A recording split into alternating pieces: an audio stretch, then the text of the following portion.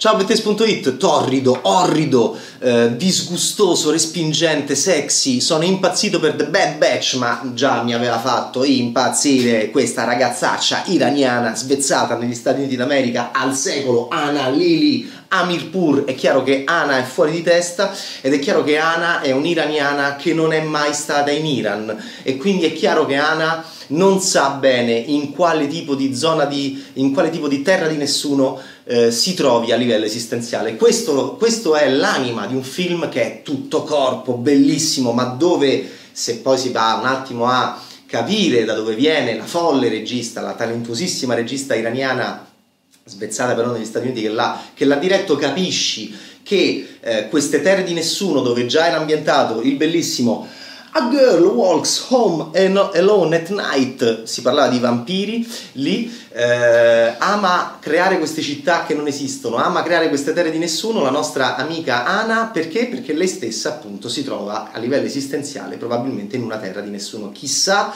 i demoni che c'ha nella testa Ana, ma il film è anche ed è incredibile perché si parla di cannibalismo e di atroci crudeltà. Il film è anche molto divertente. Di cosa stiamo parlando? Stiamo parlando di concorso! 73esima edizione della Mostra del Cinema di Venezia. Sì, questo è un altro dei miei favoriti per la vittoria finale, uno dei miei beniamini insieme al, all'alieno dai gusti sessuali particolari di Escalante, l'Areon Salvaje c'è una regione selvaggia anche in The Bad Batch, questa terra di nessuno tra Texas e Messico in cui si trova la nostra eroina e subito eh, incontrerà una eh, tribù di cannibali che insomma non è proprio ben intenzionata nei suoi confronti. A questo punto parte un film che è Mad Max, che è per un pugno di dollari, ma d'altronde George Miller aveva preso da Sergio Leone e quindi lei diventerà claudicante come il Mad Max di Mel Gibson che abbiamo visto fuori concorso, bravissimo Mel, con un film di guerra, Oxo Ridge.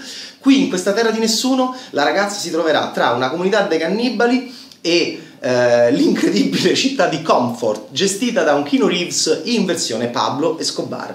Allora la, la scelta è: vuoi entrare in un harem o vuoi entrare in un mattatoio praticamente con Jason Momoa? Allora, se Ana avesse diretto Conan con Jason, ma cosa sarebbe venuto fuori invece di Marcus Nispel?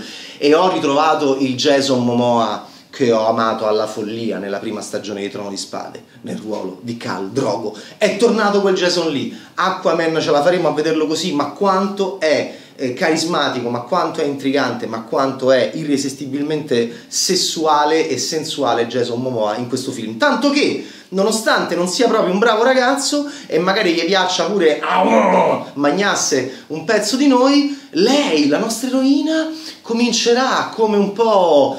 Eh, come un po' eh, com- comincerà a eh, sentire una strana attrazione nei suoi confronti. Eh, ma è giusto? Ma è sbagliato? Ma qual è il giusto e qual è sbagliato? Allora a un certo punto Ana, è chiaro, ci porta nella sua mente apolide, ci porta nella sua anima eh, senza eh, Stato, senza regione e questo diventa un gran, una grandissima metafora, penso, della situazione in cui si trova questa giovane, bravissima regista iraniana svezzata negli Stati Uniti d'America. Poi c'è un, G, c'è un, Jim Carrey dalle parti del Bruce Spence di Interceptor, il guerriero della strada, e non aggiungo altro, e poi c'è la città di Comfort che ricorda la città di, guidata da Pappagallo, ve lo ricordate, sempre in Interceptor, il guerriero della strada. Quindi c'è tantissimo Mad Max, c'è tantissimo George Miller, c'è il deserto, c'è il, c'è il fuoco usato eh, con, eh, registicamente, dandoci veramente la,